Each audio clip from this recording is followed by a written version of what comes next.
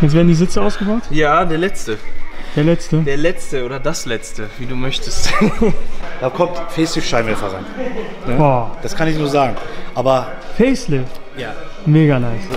Ja, ja, hier, der, hängt hier an der Zähler. äh, das, das wird wild einfach. Achtung.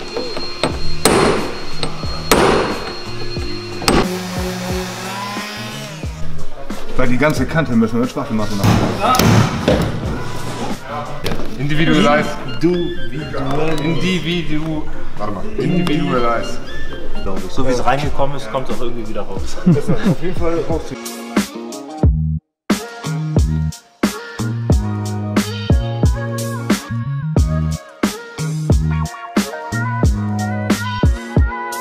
Wir haben uns natürlich für ein Radio entschieden, was mit der Zeit geht. So, ne? Weil kleine Radios, wenn wir Doppeldien haben und Doppeldien größer haben, ist jetzt out.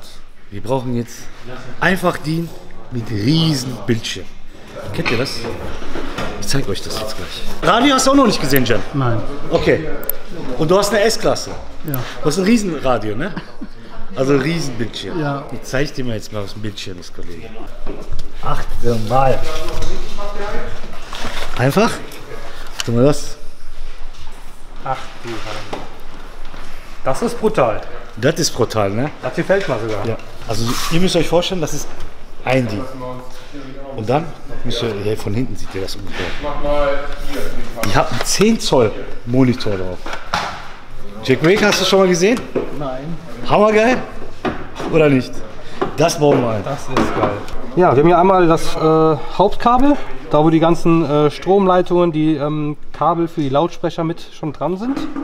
Aber die werden wir nicht brauchen, weil wir gehen hier über eine Endstufe dran. Ah, hier für USB kann man einen USB-Stick anschließen. Sehr schön. Das hier scheint die GPS-Antenne zu sein für das Navigationssystem. Also hat das Teil auch Navigationssystem. Was haben wir hier noch Feines? Oh, guckt euch das mal an. Eine Rückfahrkamera. Zeigt mal einen Audi A3 äh, 8L, der serienmäßig eine Rückfahrkamera hat. Mega. Das, sind für, das wird für, die Videokamera sein und nochmal eine USB-Verlängerung. Also zwei USB-Anschlüsse. Na, die rot-weißen, das sind die Cinch-Kabel für die Endstufe. Na, die gehen dann von dem Radio raus zur Endstufe dran, damit wir ein Audiosignal haben. Und die gelben sind in der Regel Video. Ne, das wird dann für die Rückfahrkamera sein. Ja, ich freue mich. Mal jetzt ein bisschen 50-50 zwischen dem Rand und dem Rand. Weißt du, was ich meine? So war meine Idee. Gucken, wie viel wir aus dem Stoff rauskriegen, zum, äh, was da alles noch hinbekommt. Ich glaube, Asan kriegen wir dann auf jeden Fall hin.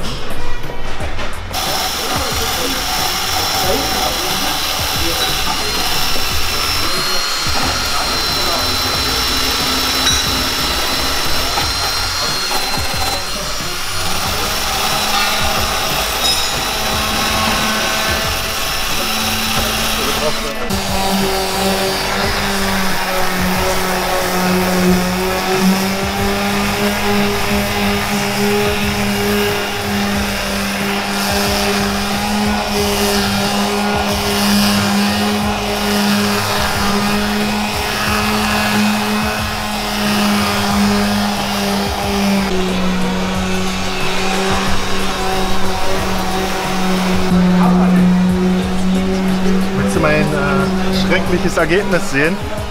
Von meinem Kabel Rolle. Sieht zwar nicht hübsch aus, aber es funktioniert. Und besser als vorher. Weil vorher waren es ja lose einzelne Kabel und ja, ist ja nicht so schön, ne? Die können ja schnell kaputt gehen. Und deswegen äh,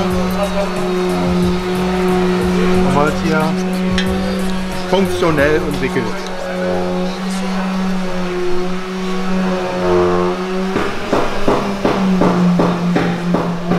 Verrutscht. Ja, ist er. Wir müssen hier ein Stück rüber, Brudi. Ein Stück zu mir müssen wir insgesamt. Zieh ruhig, zieh ruhig. Ich filme. Okay. Jetzt habe ich hier sehr viel Abstand. Du hast wenig, weil du musst vom Muster ausschieben.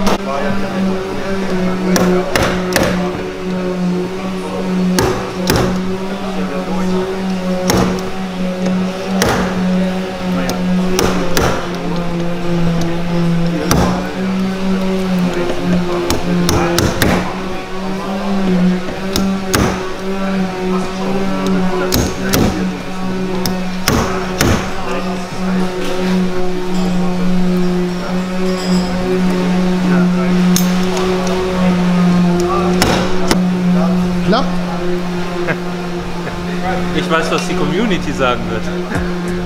Ja, klappt, ne? Läuft. Genau, läuft. Ist da richtig drauf. Vor allem in dem Bereich. Ja. Lustig mit Klebergeist. Michael, müssen wir da irgendwie äh, einwirken lassen? ja, 5 bis 15 Minuten.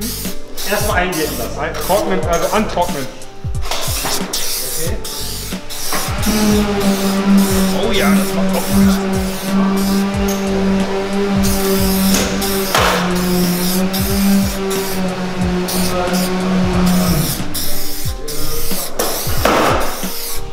Hi.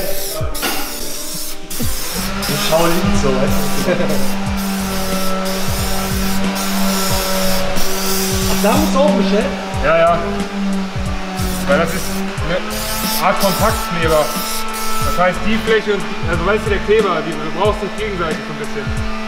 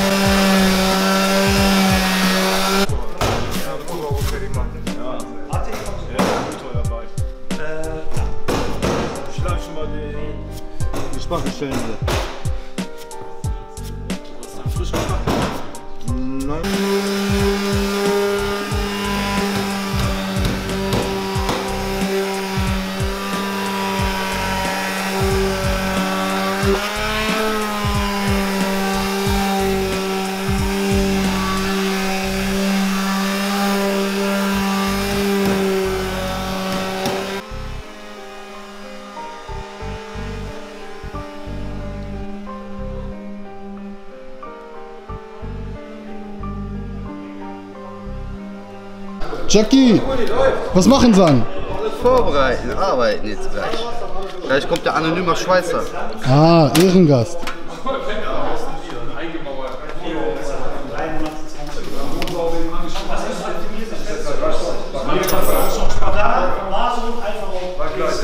Jetzt kannst du mir hier auch nochmal abnehmen. Ja. Und genau so.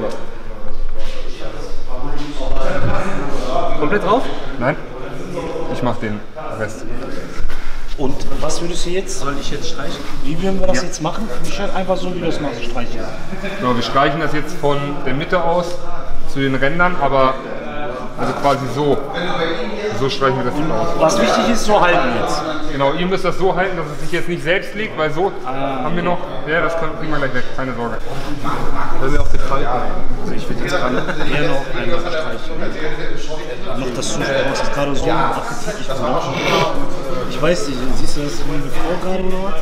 Guck mal, wie das Ich will, ich will, ich, Ja, ne? ja, aber ich will nur, dass das so ordentlich aussieht. Aber Bruder, das ist schon bei dir schon fettig so, weißt du? Guck mal, wie er das macht und wie er Ja, das der ist doch ein Bauer. Guck mal, wo der herkommt. Problem, wir haben die Kante nicht mit ein, äh, eingefasst, weil wir jetzt hier schon drauf lagen. Das ist das Problem gerade. Wenn wir jetzt hier nicht mehr das Material haben. Hier ist eine, hier ist eine Kante, die sich reingeht. Siehst du das? Und dadurch, dass das da jetzt schon klebt, lässt sich das ganz schwer nur noch anheben. Aber an der Stelle hier, ne, hier, hier sitzt die Abschlussleiste drüber hinterher.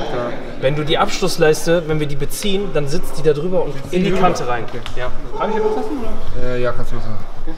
Hier ist Rauschen. Hier ist, aber sieht gut aus. Ach du Sehr gut geworden. Guck dir das mal Gut an. geworden. Das ist wild, ey. Das ist echt Der wild. Kleber, muss ich auch sagen, hat mich ein bisschen überzeugt jetzt. Der ist krass. So nicht gedacht. Der ist krass, ja gut, dass er auch wird. Ne? Ich habe damals, wo ich das das erste Mal gemacht habe, habe ich so ähm, günstigen Kleber genommen. Da habe ich auch direkt bereut. Michel, Eine Frage, wie lange muss der jetzt so trocknen? Man sagt 24 Stunden, aber wenn wir das Ding jetzt einbauen, passiert auch nicht viel mit. Die können wir jetzt sowieso nicht einbauen. Wir ein bisschen.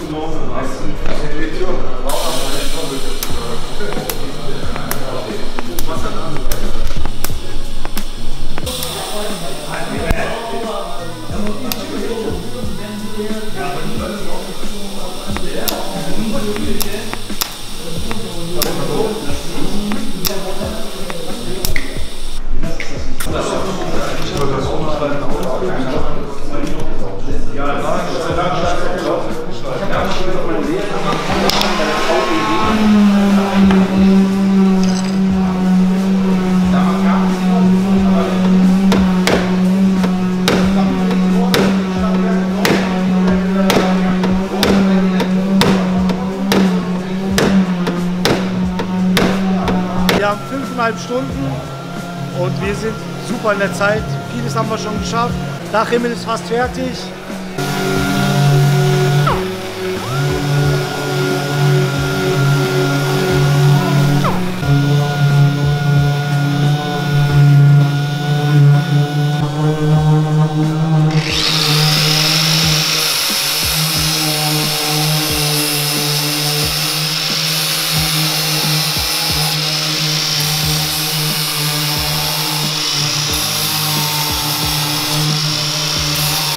Nach dem Hähnchen für. Ich habe es beide mal probiert. Takeout. Chucky, du musst mit dem Lack eins sein.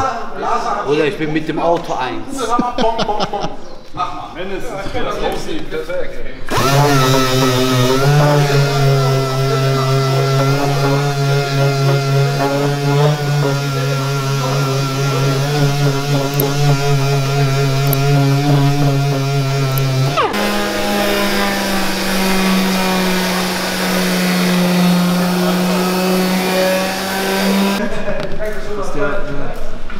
Michelle hat mich angerufen, besorgt bitte einen anderen Kleber, glaub mir diesen Scheiße. Ich, ja, hast mich überzeugt, muss ich sagen.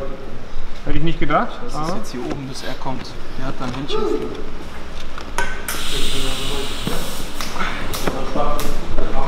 Eine Falte haben wir hier drin, aber ist nicht so schlimm.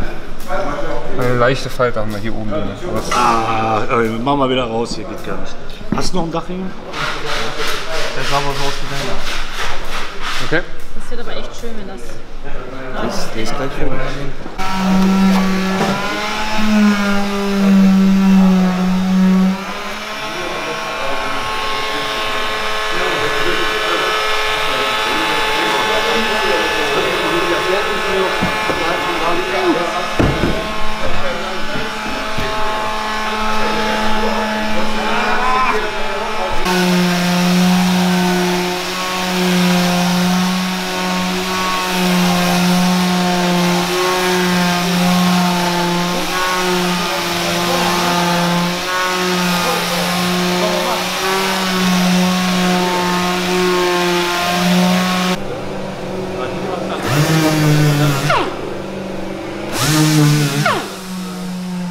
Die komplette rechte Seite ist fertig.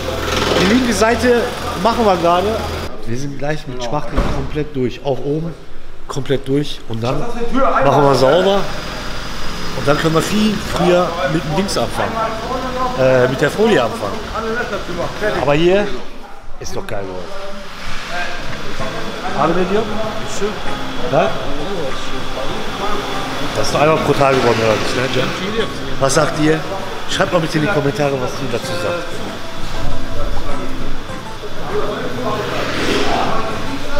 Hier, das, der Nachrüstlautsprecher, der passt nicht. Wie man sieht. Ne? Wenn du eine Ecke hast, so wie hier, schneidest du so. Vergessen, ja. Hä? Du machst das schön, finde ich. Ich würde die erstmal so lassen. Dann Ja, ja. Türkische Ausbeulmaschine. Ja.